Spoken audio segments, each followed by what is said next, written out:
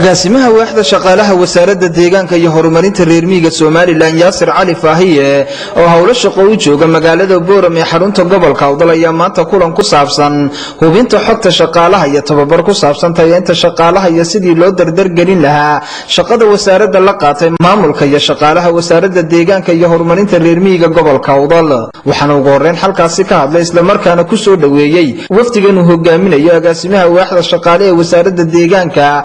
isuduwaha wasaaradda deegaanka iyo horumarinta reer miyiga gobolka awdal cabdiwahaab xuseen muumin maanta wuxuu safar noogu yimid gobolka awdal kaasi oo au ugu tala jiray runtii ama ugu talagalay runtii agaasimusu noo sheegay in shaqaalaha reform lagu sameeyo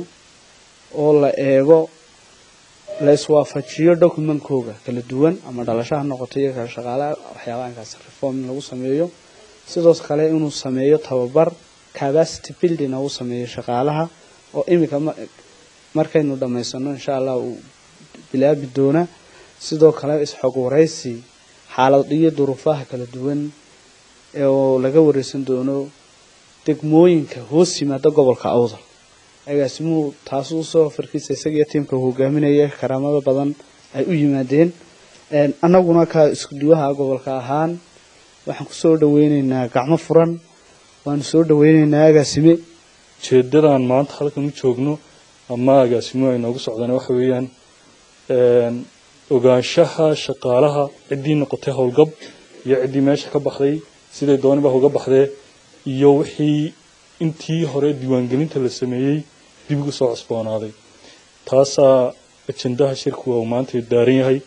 intaa kadib waxaa hadalka qaatay islamarkaana ka warbixiyey ujeedada socdaalkoogani sidoo kalena sheegay inay mari doonaan gobollada kala duwan ee somalilan agaasimaha waaxda shaqaalaha wasaaradda deegaanka iyo horumarinta reer miyiga somalilan yaasir cali faahiye. Safarkan aan u soo baxnay waa safar wuxuu daaran yahay aanu ku tegna gobollada dalka jamhuuriyadda somalilan annagoo ka bilaabna safarkayga maanta boorame. Intaasoo dhanna waxaan u soo maraynaa inaanu ogaano xaaladaha ay ku sugan yihiin shaqaalaha. Taasoo ujeedkeeda gudu yahay isxog waraysi sannadkii ugu horeeyey labadii kun iyo sagaaliyo tobankii bishii dambe november iskuduwii hore ayaanu kolonay baahiyihii markaa jiray annagoo uruurinay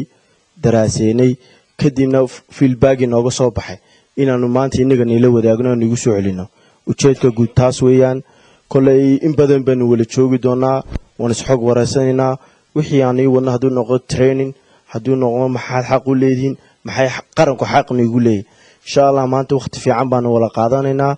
waanu wala joogaynaa. Wixii tala iyo tusmo iyo wixii aad haysaan. Insha allah annagoo la kaashanayna madaxdii wasaaradda ayaanu ku celinaa warbixintiina. Wixii wax laga qabana laga qaban karana sida ugu dhaqsiyaha badan baan ka qabanaa insha allah waa cabsalaan bashiir faarax cabsalaan saaha warbaahinta qaranka somalilan magaalada boorama